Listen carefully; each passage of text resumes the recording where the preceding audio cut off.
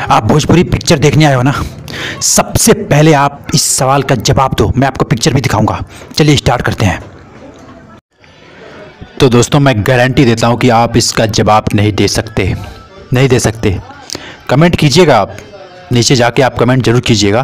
पहले आप देख लीजिए कि सवाल क्या है और सच में क्या आप इसका जवाब जानते हैं या नहीं जानते हैं। तो चलिए स्टार्ट करते हैं। देखिए, सबसे पहली चीज़ क्या है? ये आप हैं, ये आपका दोस्त है और ये कोई और है। मतलब तीन लोग हैं। ध्यान से सुनिएगा ताकि आपको पूरा समझ में आए और दोबारा स्किप करके आप मतलब दोबारा देख सकते हैं आगे पीछे करके कि सच में रियल में क्या है और किस तरीके से है। ये आप हैं, ये आपका दोस्त है और ये तीसरा कोई आपका ही दोस्त है।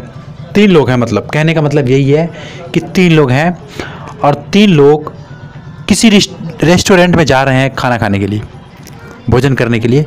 और एक जो प्लेट है खाने का, वो पच्चीस रुपये का है। ध्यान से सुनिएगा, एक प्लेट जो है वो पच्चीस रुपये का है। आप तीनों ने खाना खाया, पच्चीस पच्चीस करके आपने पचहत्तर रुपया उसको दिया। वहाँ जो मालिक बैठा होता है, उसको पचहत्तर रुपये आपने दिया। और पचहत्तर रुपये जैसे ही आप देते हैं तो फिर वो जो मालिक है, वो पाँच रुपये वापस करता है। आपको वापस कर देता है, दे देता है। और सत्तर रुपये रख लेता है। बोलता है कि पाँच रुपये मैंने छोड़ दिया, आप ले जाओ, ठीक है? तो उसका जो नौकर होता है, ध्यान से सुनिएगा, उसका जो नौकर होता है, वो लेके जाता है पैसे।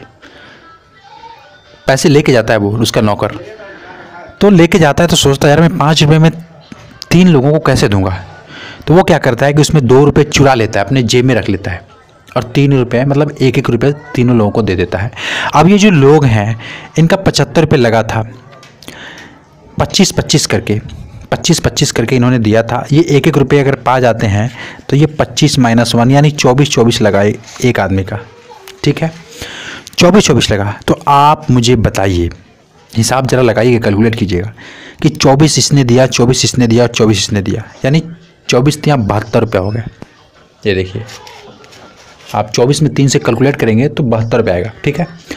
और दो रुपये उस लड़के ने चुराया था, याद है ना? हाँ। तो ये दोनों मिलकर हो जाता है चौहत्तर रुपये अब आप मुझे बताइए कि पचहत्तर रुपये था तो एक रुपये कहाँ चला गया? एक रुपये आप मुझे ढूंढ के बताइए। सवाल यही है, अगर आपके समझ में नहीं आया है तो आप इसको दोबारा देख सकते हैं और ध्यान से सुनिएगा कि एक रुपये की बात है कि एक रुपये कहाँ गुम हो जाता है। ठीक है? तो उम्मीद करता हूँ कि आप समझ चुके होंगे सवाल और आप इस सवाल का आंसर इस वीडियो में देंगे कमेंट में जाके देंगे। अगर नहीं समझ में आएगा तो आप मुझे बताइएगा कमेंट में, मैं इस पर एक वीडियो बना के दूँगा आपको। तब आप समझ जाएँगे कि क्या होता दोस्त, बात ऐसी है कि ये सवाल का मतलब नहीं है। कुछ चीज़ें होती हैं जो हमारे समझ से बाहर होती है, जो हम समझ नहीं सकते हैं। ठीक है दोस्त? तो चलिए दोस्त, आज के लिए बस इतना ही। आप वीडियो पसंद आया तो लाइक ज़रूर कीजिएगा और सब्सक्राइब कीजिएगा और घंटी वंटी का निशान ज़रूर दबाइएगा, क्योंकि मैं मोटिवेशनल और एजुकेशनल वीडियो ही डालता हूँ। तो चलिए दोस्तों, आज के लिए बस इतना ही। तथ्य के लिए जय हिंद, जय भारत।